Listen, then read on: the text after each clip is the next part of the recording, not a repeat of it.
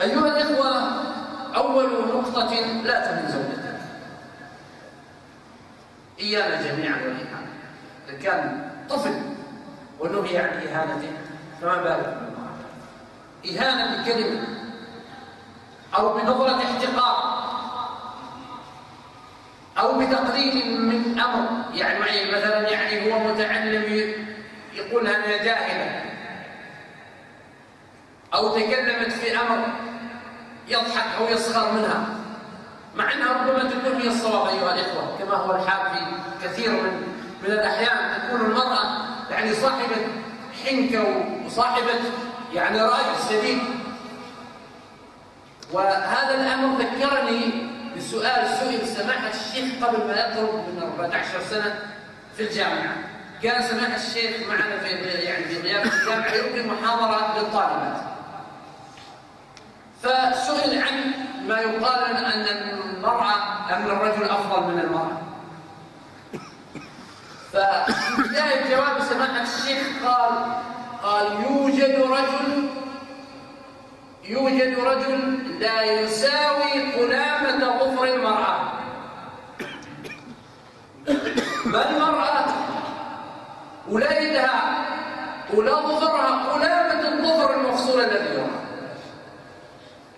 يقول يوجد رجل بالنسبة للمرأة لا يساوي قلامة ظفرها قدر الأمام كانت المرأة تقيم.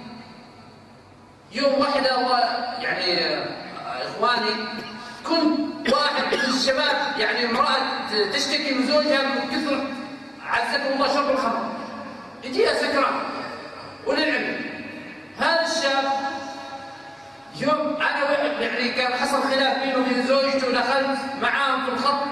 يقول أنا ما انتقد عليها شيء. كل يوم صايم ما في الليل ما تفوت قيام الليل.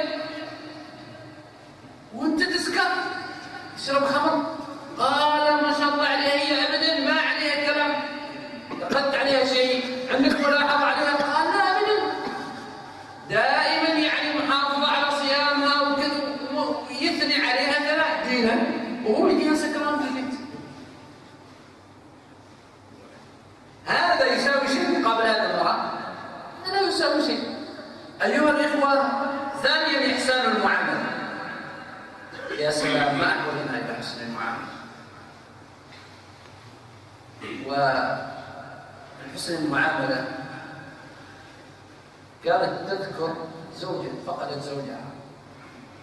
تقول في آخر حديث بيني وبين زوجي كنت يعني تخرج قبل هي مدرسة. تقول في ذلك اليوم سبحان الله وكان وكان طبعا ذلك الشاب كان أو الزوج كان زوجا صالحا. يقول تقول خرج برفقتي وأنا خارج إلى السيارة رايح إلى المدرسة.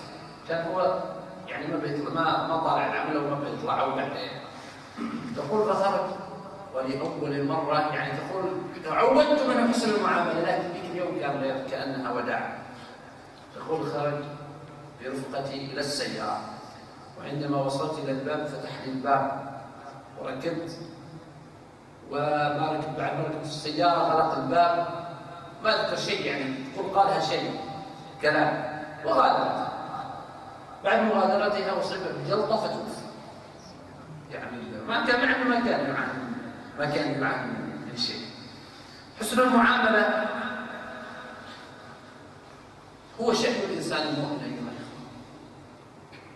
حسن المعاملة حسن الأخلاق رسول الله صلى الله عليه وسلم عندما هيأه الله تعالى للبعث والرسالة لماذا وصف؟ لماذا وصف في الجاهلية قبل البعث؟ ها؟ بمكارم الأخلاق كان معروفا بالصادق إنما بعثت لأتمم مكارم الأخلاق وعندما سئلت السيدة عائشة عن رسول الله صلى الله عليه وسلم خلق رسول الله قالت كان خلقه القرآن.